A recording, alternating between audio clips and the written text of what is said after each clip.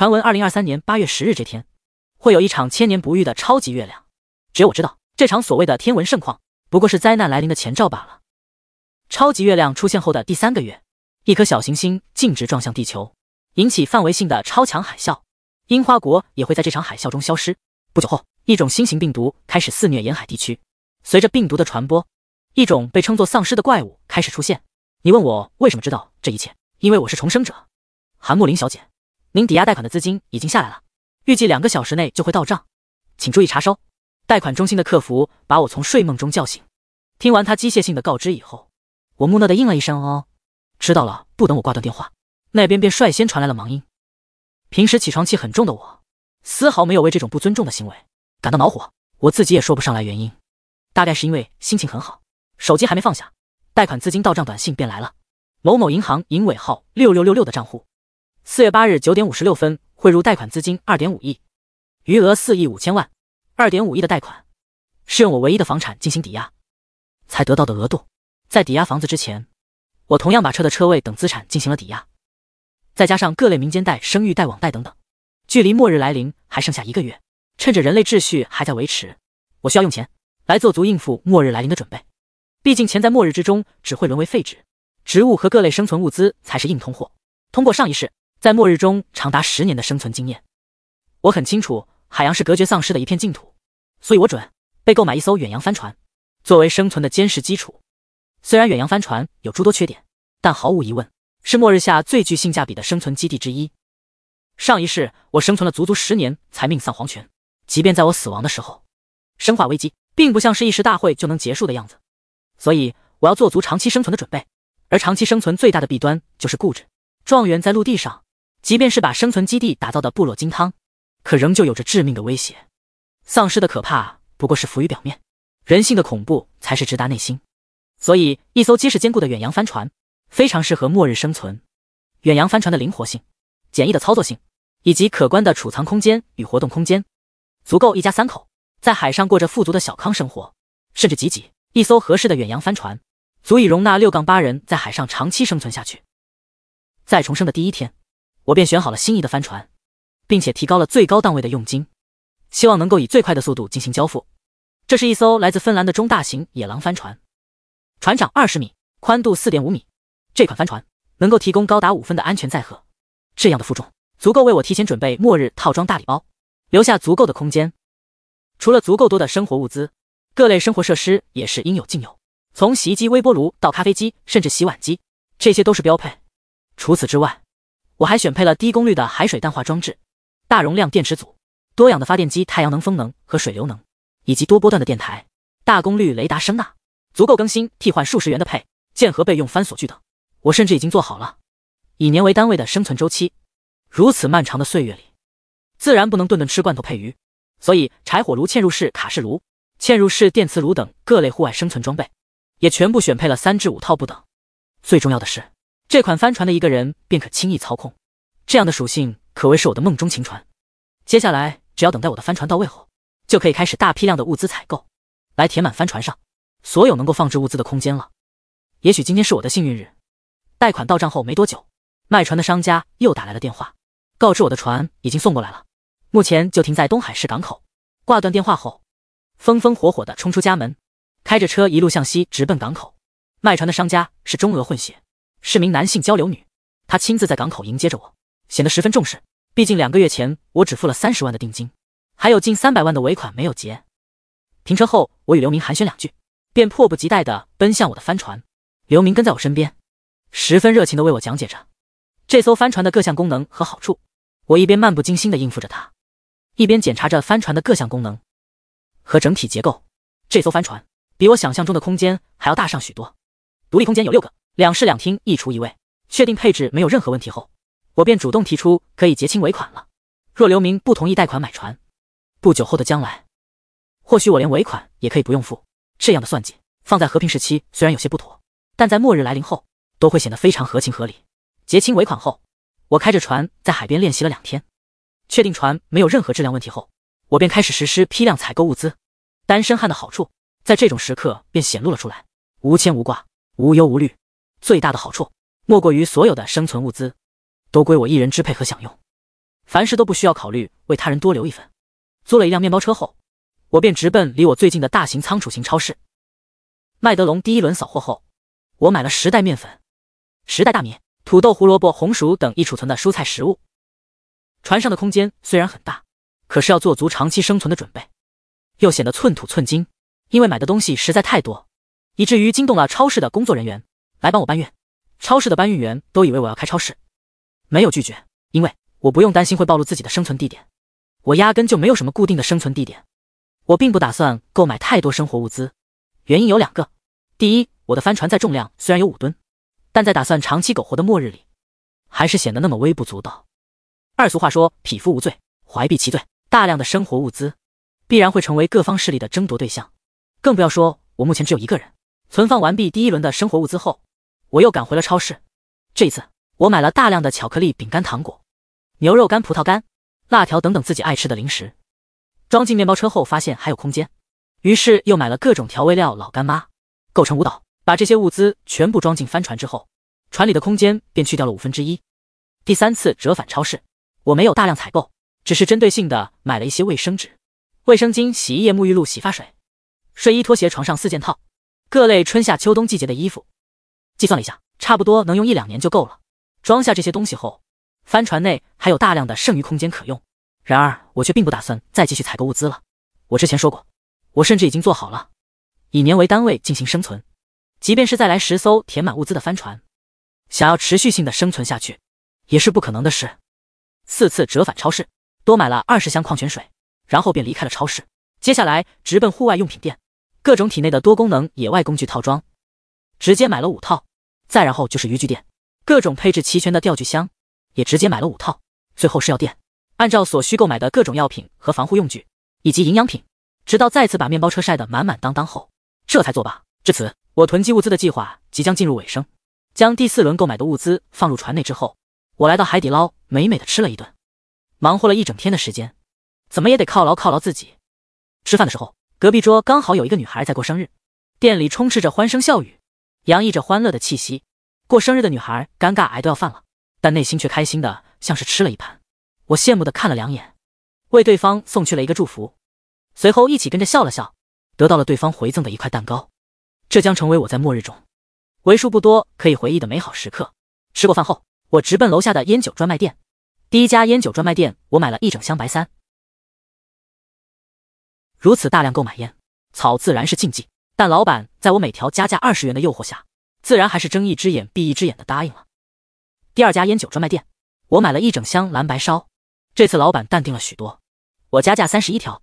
仍旧不肯卖，我不想和老板浪费时间，我加价四十一条，老板一脸为难。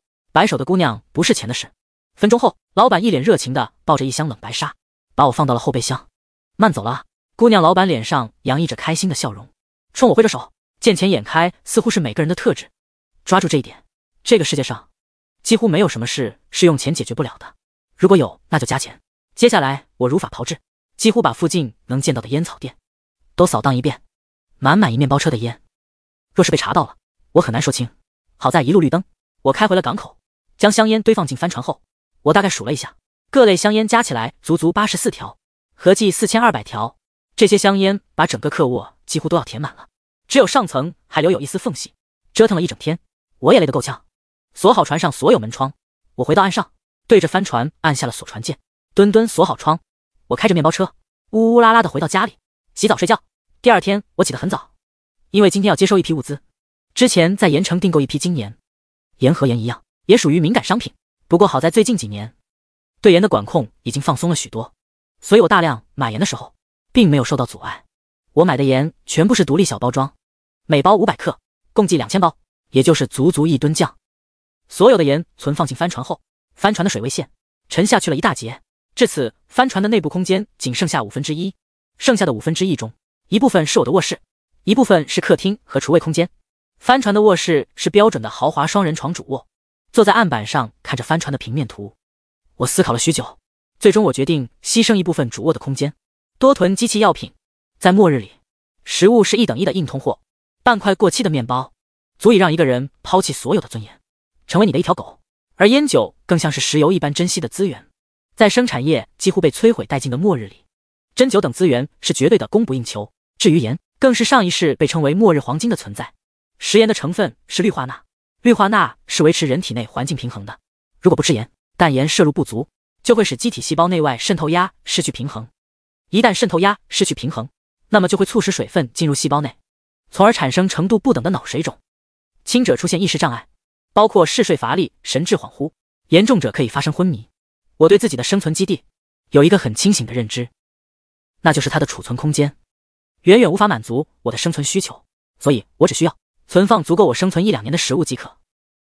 至于其他的生存物资，我也完全没必要大量存储，只需要后期进行末日贸易即可。我期间考虑过再囤积一些酒，但酒的单体面积太大，囤放的性价比不高。现在我有几千条烟，几千代言，足以让我在末日里过上人上人的生活。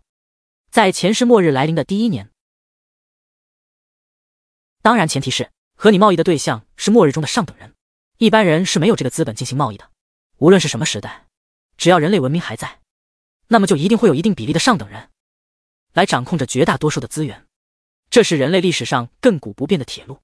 就凭我目前拥有的这些资源，在未来十年甚至二十年里，我可以说想要什么就会有什么。至于匹夫无罪，怀璧其罪的威胁，我更是不必担忧。鉴于远洋帆船的灵活机动性，社会阶级中低层的人。很难对我进行定位追踪。至于那些手握大量资源的上等人，更不会为了这些来犯险与我为敌，因为这些东西在他们看来根本不值得浪费。更为宝贵的武力资源，越是上等人就越熄灭。好钢必须用在刀刃上，在上等人的眼中，就连食物都不算是最重要的东西，只有自己的小命才能够与武力资源相匹配。烟和盐是很重要，但对于他们来说，能用和平贸易的方式得到，何必动刀动枪？至于那些喜欢玩背水一战的亡命徒，我很难去预防，但我不可能做到万无一失。就算我准备的再充分，也一定有考虑不周全的地方。所以我能做的就是尽可能的去小心行事。经过我的一番考虑，我在纸上列出了以下要囤放的药品清单：感冒药、消炎药、止痛药、止泻药、绷带、纱布、创可贴、云南白药、酒精、维生素、抗生素，这些全部加起来要占据我卧室一半的空间。但即便如此，我的卧室仍旧有足够多的活动空间，甚至还可以再买一台跑步机供我健身使用。列完清单后，我马上开着面包车呜呜啦啦的奔向药店，按照清单进行购买，用一上午的时间将清单任务解决，将药品存入帆船，按照最优化的摆放方式，将帆船的空间力用到了极致。摆放完所有药品后，发现还有一丝丝空间，本着绝不浪费的原则，我网购了两箱防风打火机。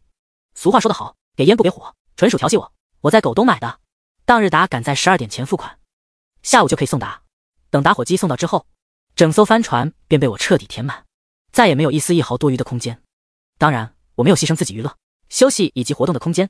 囤积物资的任务至此便彻底结束。躺在宽厚的双人大床上，望着床尾挂着的五十五寸大电视，忽然灵光一闪，猛然坐起身，拿起手机打开了狗兜四 T 的移动硬盘，直接一口气买了二十个，并且要求店家帮我存满电影。电视剧和小说，还有音乐。面对我这样的要求，商家一开始是拒绝的。直到我提出额外支付一万元辛苦费后，商家的态度来了个一百八十度大转弯，没有理会店家刷屏式的整齐术语。我退出聊天框，又开始搜索游戏笔记本。最顶级配置的游戏本两万元一台，我买了三台，仍旧要求店家帮我装好各种单机游戏。接下来是各式各样的游戏机，包括 PSP、Xbox、HDR 头显等娱乐设备。一番购物。直接花掉了近二十万，之前囤积各类物资花掉了近三十万，其中有小二十万都花在了买烟上。买完东西后，接下来对收获即可。我又躺了下去，美美的睡了起来。第二天我起床后直接来到了网吧，开了一个包间。坐下后，我从挎包里拿出了一个小本本，这个小本本上记录着各式各样的联系方式，包括手机号、微信、微博等。重生后，我一直在重复做一件事，那就是收集前世所有幸存者的联系方式。他们大多都是末日里的顶级强者，既有末日里雄踞一方的资源大佬，也有生存能力超强的囤货遛狗王，更有武力值爆棚，能够在丧尸群中自由穿梭的绝世高手。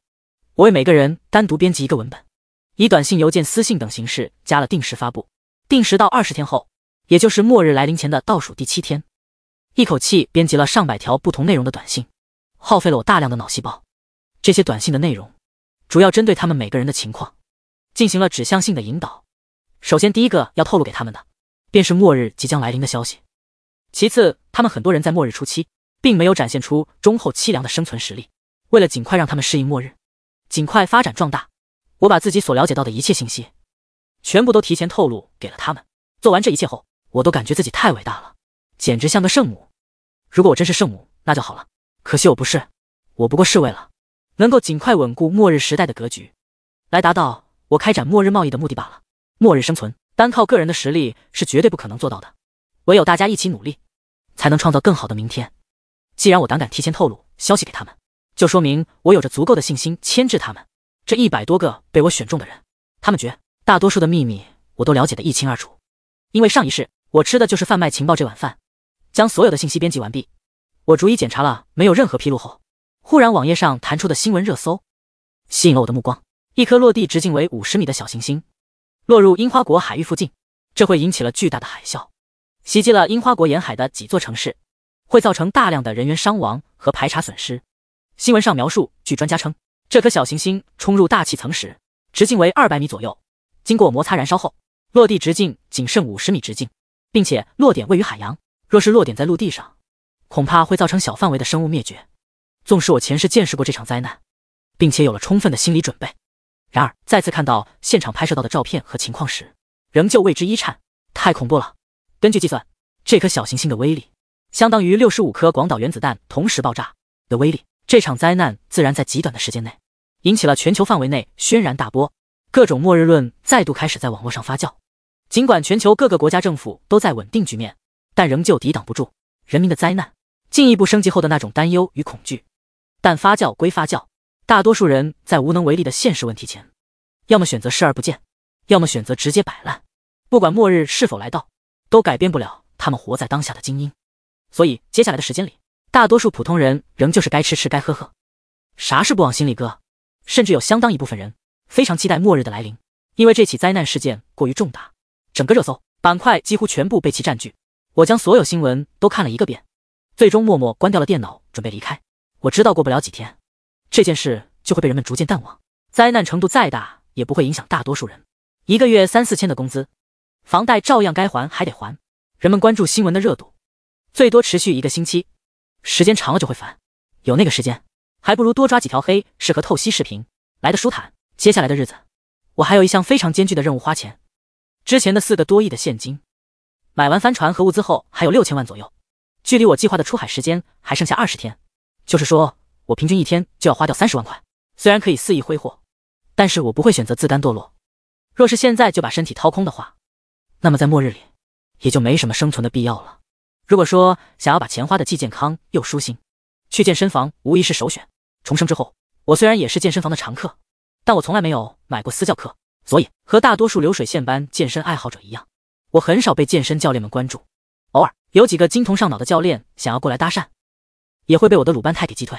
我并非不喜欢男人，是深谙末日生存法则，内心封闭而已。但如今我要打十个，一口气购买了五位猛男教练的私教课，两个辅助我做训练就足够了，剩下的一个为我准备饮料，一个为我擦汗，最后一个站在一旁充当啦啦队，为我加油打气。距离小行星撞击已经过去了七天时间，各国政府都在严格控制新闻的热度，似乎是有意为之。同时，第一只丧尸出现。当然，目前为止大家都不知道是丧尸。借着疫情的由头，大家都以为新出现的病毒感染者只是新冠疫情变异的产物。我每天关注的新闻的变化，只是为了随时做好应对的准备。事态的发展和前世一模一样，没有太大的变化，所以我安然快乐的度过了二十天，也成功的花光了手里所有的闲钱。末日来临前七天，我把家里收拾一番，锁好门窗，背着旅行背包下了楼。邻居们问我去干嘛？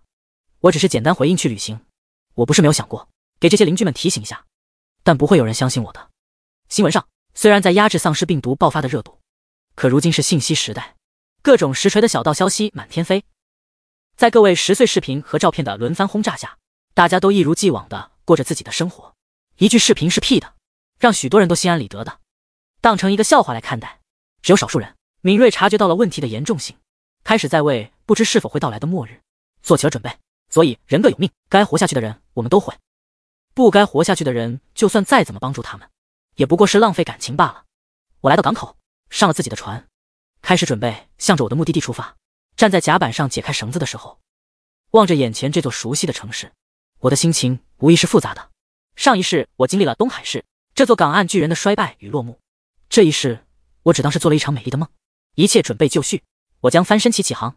随着帆船逐渐远离港口，东海市的轮廓开始逐渐缩小，来到近海区域，我调整航向，朝着菲律宾的首都马尼拉的方向驶去。马尼拉是我末日生存的第一站，我计划半个月左右抵达。那个时候，整个菲律宾大概已经沦陷，社会秩序彻底崩塌。但马尼拉之行对我来说非常的重要，甚至关乎我能不能活过末日来临后的第一个月。我出发的时候是中午。风速表上显示风级在五级左右，伴着阴天，似乎要下雨。不过好在我提前查过，最近半个月都不会大风暴出现，否则我出行的计划必然要被耽搁。经过一下午的航行，帆船周围已经看不到陆地和岛屿了，一眼望去是茫茫然的大海，无边无际。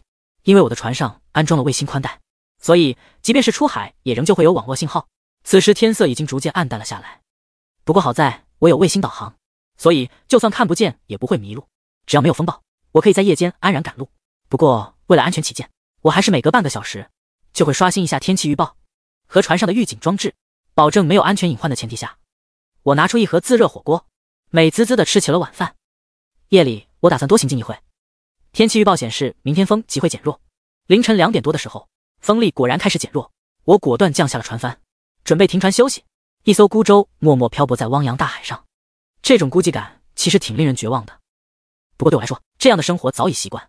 还记得前世第一次在似乎能吞噬一切的大海上休息时，我连着三天都没睡着觉。尽管强迫自己不去看大海，可脑海中仍旧忍不住会去想象大海的恐惧。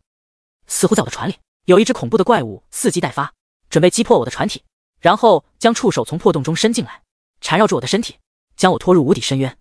现在我检查过异常报警器，在正常工作后便直接躺在了大床上，一秒入睡一下午加一整晚的航行。实在是太令人疲惫了。经过一夜充足的睡眠，我满血复活了。洗漱过后，冲一杯麦片，我便出了船舱，来到甲板上坐下。此时太阳初升，微微海风，不过十分舒服。一边喝着麦片，一边拿出了手机，先是看了一眼天气预报，随后便开始刷新闻。新闻上有关变异病毒的报道已经逐增多，东海市甚至都已经有了几例。不过好在政府足够强大，及时将情况稳定。但我知道这不过是暂时的罢了。一个新冠尚且把人物折腾的要死要活，更何况这是外星带来的变异病。对付病毒最难的不是应对方案是否完善，最难的是排查感染者。这几乎是一个无解的命题，因为大部分感染者初期是不会有症状的，但依然具备传染能力，并且传染的方式多种多样，甚至包括了空气传播。如果出现症状，那就说明病毒早已在不知情的情况下默默传播了很久。这种时候，即便是军方出面也无能为力，毕竟。不能直接把混杂的无症状感染者和普通人一起都突突了吧？刷了五分钟新闻，大概了解了一下陆地上的情况。我关了手机，拿出了钓具准，被垂钓今天显然不适合航行，风太小，无法产生动力驱动帆船。这样无风的情况或许会持续到明天，所以今天就当是休息了。垂钓是末日生存必备技能之一，对此我早已是滚瓜烂熟。尽管当年我对垂钓并不感兴趣，甚至还有些讨厌，但为了生存，我不得不逼自己去做一些不喜欢的事情。专注的钓了一上午的渔网，收获颇丰。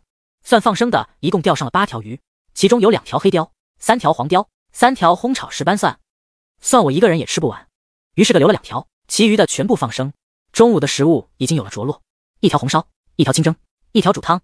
虽然一个人生存十分无聊，但我早已学会了如何在孤独中寻找欢乐。曾经我一度因为孤独几乎要精神崩溃，但我兴趣爱好覆盖范围极广的性格，每一次都能及时帮我找到新的乐趣。继而将我从自杀的死亡边缘拉回来。做饭是一个可持续性很强，并且乐趣十足的项目。虽然做饭的过程比较繁琐和辛苦，但当我把三个鲜美无比的海鲜大餐摆上桌的那一刻，我的心里充满了幸福。加一块软糯鲜香、温白如玉的清蒸黄腰鱼肉，塞进嘴里慢慢咀嚼的那种快乐，更是无与伦比的。第三天，我继续向前航行。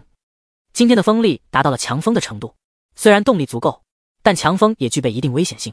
我行驶的。将会更加小心和谨慎，毕竟对于我这种吨位的帆船来说，六级风已经有倾覆的危险了。不过问题不大。第八天我已经抵达黄岩岛，途径再往前，即将驶出中国领海，所以我停了下来。这几天我每天都在关注病毒的感染情况，和前世一样，在第七天的时候，沿海地区的所有城市已经全面沦陷，内陆的城市虽然有部分比较安全，但距离沦陷只不过是时间长短的问题。今天早上起床的时候，除了几个官方媒体，其余各大媒体都已经没了动静，只有贴吧、微博、各种论坛还有交流情况的声音。官方媒体也只能更新一些，鼓励大家不要为爱锁好门窗，相信政府的号召性新闻。此时的我仿佛被整个世界抛弃了一般，世人的恐惧慌乱并不能影响到我。国内的情况都已经如此糟糕，菲律宾的情况更是好不到哪去。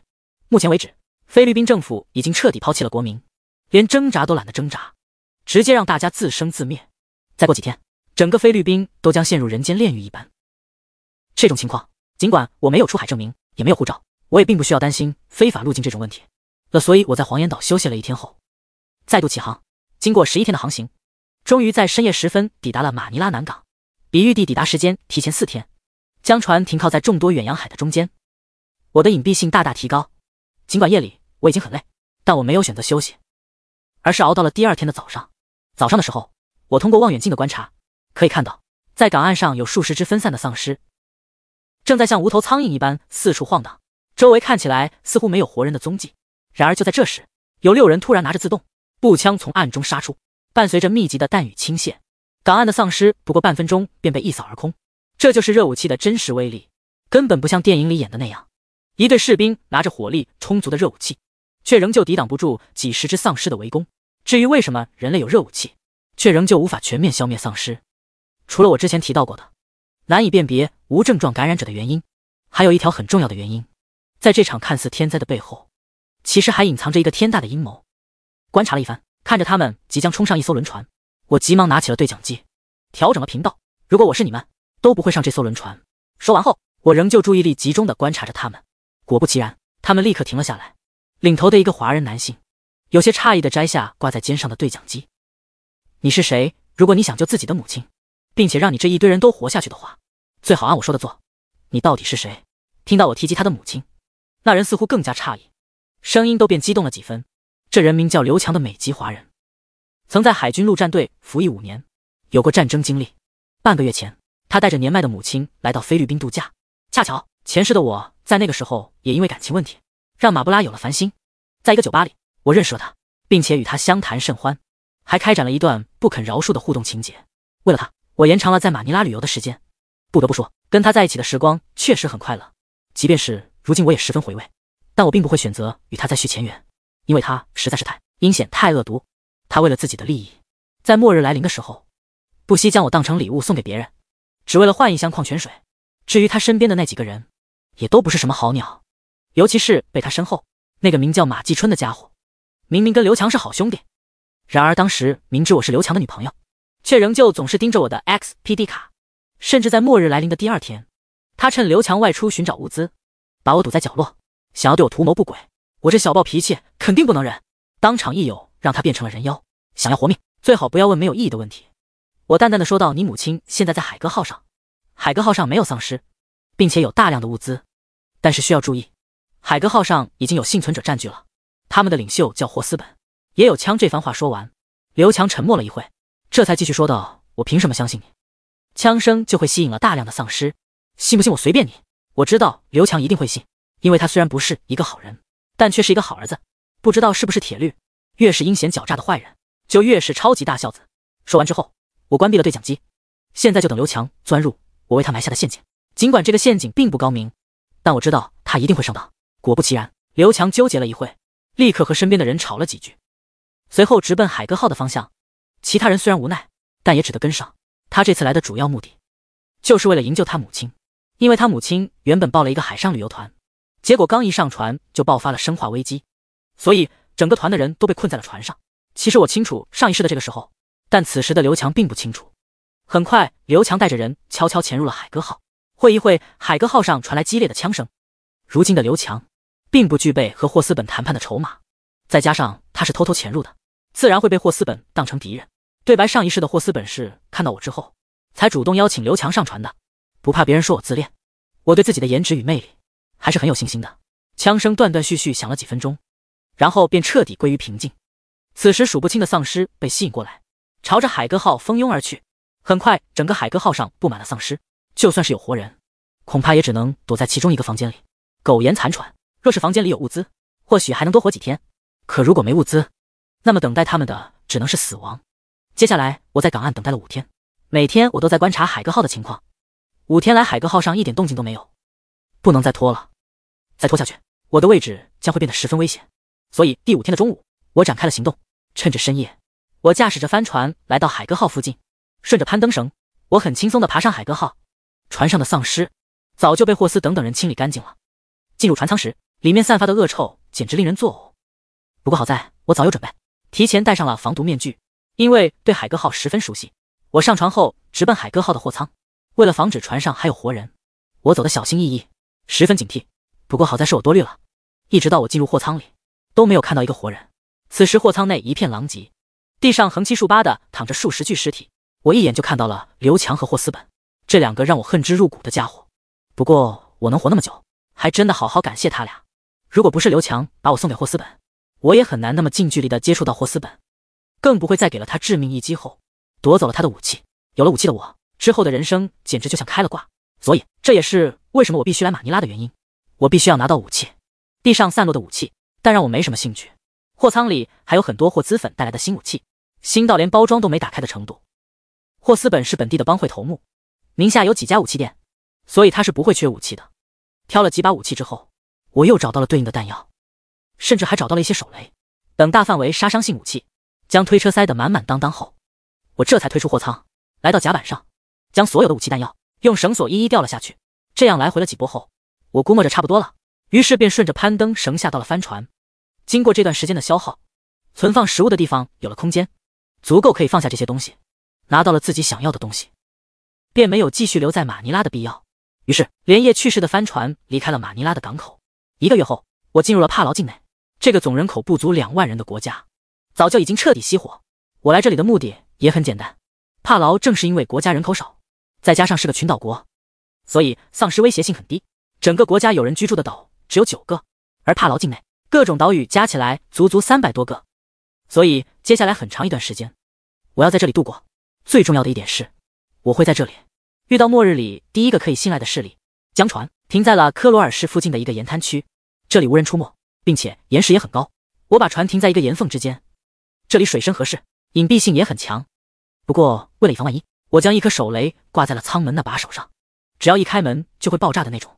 挂好手雷，我从天窗爬了出去，腿上绑了一把手枪，手上拿着一把通风枪。准备充分后，我直接上了岸，因为距离科罗尔城区还有一段距离。所以我足足走了两个多小时，才来到克鲁尔城区附近。此时，克鲁尔城区内的丧尸大多都被吸引到了十分偏僻的城外。城内有部分建筑建起了围墙和围栏，将丧尸抵挡在外。做这些事的主要分成两批人：一批是本地人组成的生存者自救组织，另一批是从海上飘过来的异乡客。主要成员全部都是中国人。他们是一个公司的人，包船出来团建。来的时候好好的，没想到回去的时候回不去了。所以这一百多号人就这么留在了克洛尔，但是本地人不愿意。双方这一个多月以来发生了无数次的战斗，伤亡十分惨重。不过好在中国人这一伙中有个狠人，名叫周一南，是公司的老总，也是部队上退下来的老兵。他不仅领导能力极强，战术意识也很强。尽管手里没有热武器，但仍旧把敌人打得落花流水，最终成功站稳了脚跟。与本地人划分了各自的生存区域，并且达成和解，不会互相侵犯。可是表面上看起来是和解了。但本地人的伙子却憋了一肚子的坏气。我前世与周一南产生交集的主要原因，就是我救了他女儿。不过比较遗憾的是，前世我虽然成功救下他女儿，但他女儿也断了一条腿。只是保住了你，这一世我不会再重蹈覆辙。毕竟周一南前世也救过我许多次，甚至到我死，他都没有算计过我。接近城区的时候是下午，我没有急着进城，因为我现在不确定周一南的女儿什么时候会被绑架，必须要把握好时机，否则容易节外生枝。接下来。我在距离本地人自救组织的领地附近，很近的老房子附近，每天用望远镜观察着他们。他们每天都会派人出去搜集生存物资。一连三天，他们没有任何异动，直到第四天的时候，第四天的傍晚，我看到他们开出一辆我前世非常熟悉的黄色面包车。这辆面包车他们只动用过一次，应该就是绑架周一男女儿的时候。我清楚的记得，他们开出这辆面包车的当晚，我在周一男他们领兜附近的一家宾馆睡觉。那时候我和周一南还没有结识，只是在周一南女儿周颖被成功绑架后，跑路的动静吵醒我。原本不打算多管，可是当周一南追出来的时候，怒不可遏的大喊着：“谁能救下他女儿，他就赏一箱面包和一箱矿泉水。当时我已经弹尽粮绝，饿得两眼发昏。听到这话，我也不知道哪里来的力气，起身噔噔噔下了楼。我就像孤善英雄一般站在马路中间，用手枪对准了面包车。面包车司机吓坏了，匆忙打方向盘，导致撞上了路边的建筑。及时赶来的周依然控制住了四名绑匪，救下了周颖。但可惜的是，因为车祸，周颖的左腿没能保住。周颖被救下后，我也因为过度虚弱晕倒了过去，再彻底失去。周依然将我抱在怀里，问我是什么人，而我嘴里只是乐乐的说着我的面包还有矿泉水。本来我对周周一男的承诺已经不抱希望了，因为末日里我见过太多阴险狡诈的活人，他们大多都不会信守承诺。不过幸运的是，周一男不是那样的人，他不仅信守了承诺。还把我带回了抗日基地。我再次醒来时，一箱面包和矿泉水都摆放在我的床头。周一南听说我醒了，特意赶过来道谢，并且告诉我说这里很安全，让我可以安心休养。为了让我放心，他甚至还把我的手枪还给了我。在那之后的日子里，我确实过上了前所未有的安心生活，并且我与周一南的关系也迅速升温。导致我俩关系异常的诱因，就是周颖这个可爱的小丫头，一口一个我长得好像她妈妈，甚至她还总是问我能不能当她的妈妈。时间一长，我和周一南不可避免的也发展出了不可描述的关系。回忆起这些点点滴滴，我的心里更加坚定，一定不会再让他受到半点伤害。于是我迅速下楼，悄悄的跟了上去。虽然我是不行，他们去开车，但时间上并不紧张，因为他们动手的时间在半夜，我有足够的时间可以赶到周一南的地盘做好预警。